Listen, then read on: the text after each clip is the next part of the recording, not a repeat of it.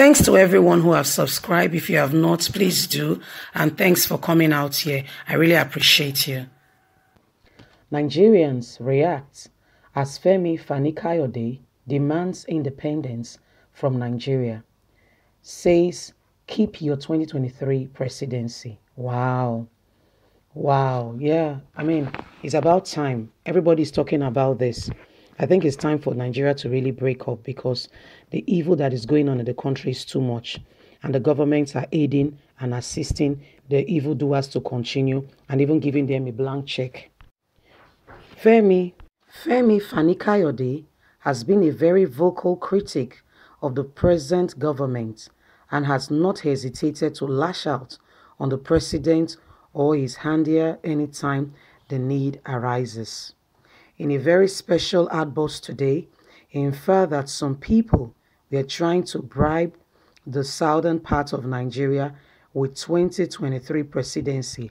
He said that the South is more interested in restructuring or outright independence. With what is going on, we are not interested.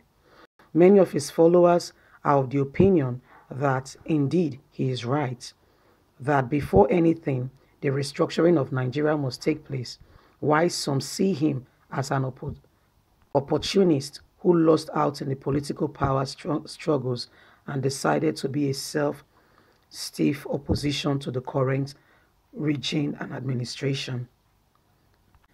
I think Femi Fani-Kayode is just confirming what Biafra has been saying all along.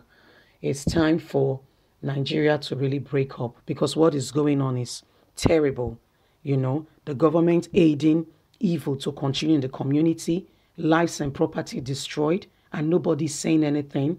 Rather, they are asking for an agency to be built for Boko Haram. This is not done in any race, country, or people.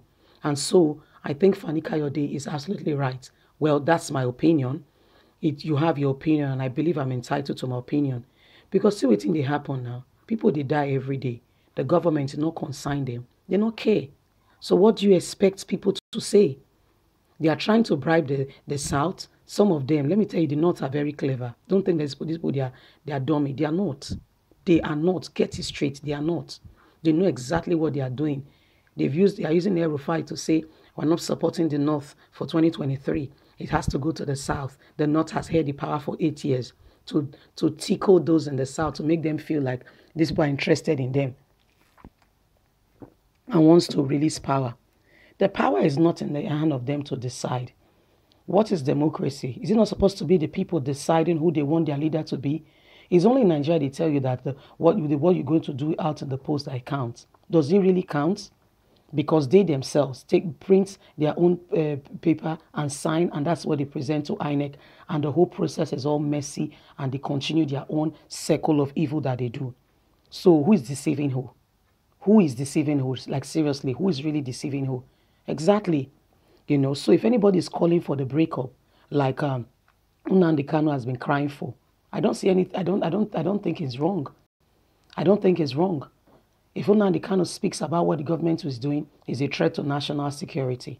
If Sowore speak of what is going on and that the youth should rise up and take their place and refuse these old people recycling and leading us with no vision, Nigeria not going anywhere, they say it's a threat to nationality, to the nation, to the nation. What about Miyetti Allah?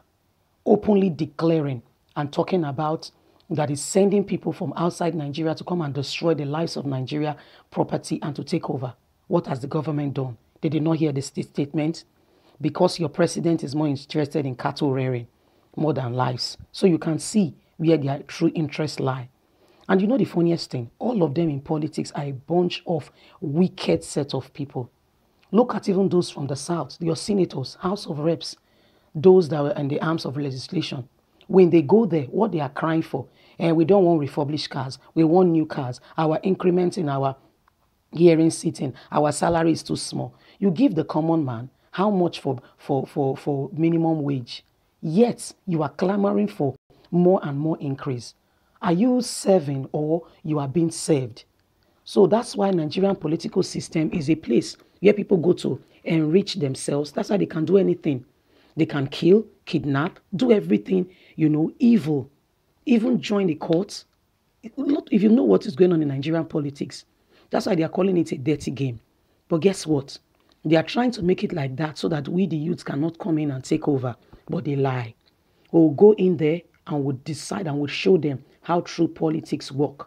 We'll go in there, we'll be diligent, we'll start. The thing is, you cannot stay outside and say you are involved. You have to get involved. Register with a political party. It starts from there. Get registered. Get into a political party. From there, you can signify your interest.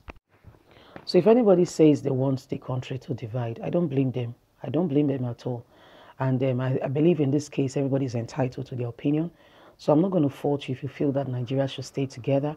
And I don't think you should fault me if I think that we should go our separate ways because uh, of the issues happening. You can see those at the top sponsoring these people and giving them amnesty and even uh, encouraging them to carry out more evil in the life of the people that you say you are governing.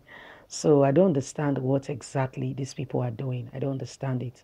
So if they said they want to separate, oh, all well and good.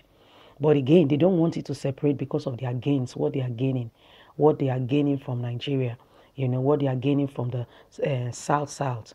They don't want it to separate so that they can come and infiltrate. Look at what is happening all over. They went to Delta, a community, did no clash, nothing, just started killing people, got into their bush, even having interrogation with the police. So the Delta people have said, you know what, we're not eating your meat. So if we're not eating meat, what are you coming to do now? Say, we're not buying. We don't want to buy. Take it away. Go. Aha. Uh-huh. So this will solve the problem. You can see that. You can see the problem they are causing. Making people to even go out of their way. You know, stopping the, you know, Delta State is working now on the legislation. The House is meeting to pass a law that is a sin to eat meat in Delta State. Not because literally it's a sin, but because of this herdsmen. So nobody, everybody knows that in Delta State we don't eat meat. So if we don't eat a cow meat, we don't we are not expecting them to come. You see? So these are evil prevailing in the community and in our in, uh, in our day to day in nigeria. And buhari will be there pretending like he's naive. Guys don't get it twisted. This man is a is a trained military general. Remember he was trained by the british. He knows exactly what he's doing. He's pretending naive to you just to make you feel that he doesn't know what he's doing. No no no no no outer black lie he knows exactly what he's doing He's just pretending to get Nigerians, you know. So when he talks, they think that no, he's buying time. You know, he has an agenda. He's a very he has he has an archaic kind of um, values and mindset. You know, he's very religious and he wants to bring his own. You know, he's a dictator. Uh, please. So Nigerians, this is what is going on. We need to let these people know that um, we are serious if you are for those, if you are like for the Biafrans that want this evil to stop in Nigeria, you need to rise up. We cannot allow them. Biafra speaks, they say Biafra is, uh, is speaking against national security. What about Miyetti Allah? What about headsmen? Those ones are free to carry out evil and perpetration of evil in the community. Nobody has rights to touch them. Those ones are exempted from threats of national security.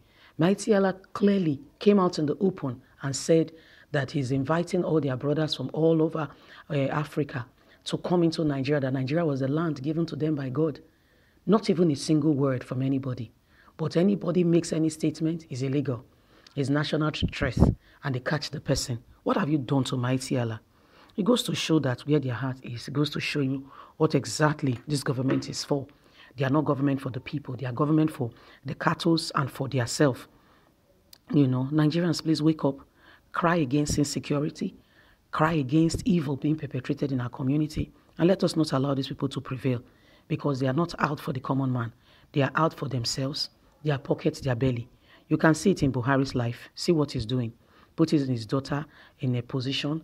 He's flying now with the presidential jets to go and do what he wants to do. But Nigerians, it is time to rise up and kick up against evil governments in our society and don't allow them to prevail.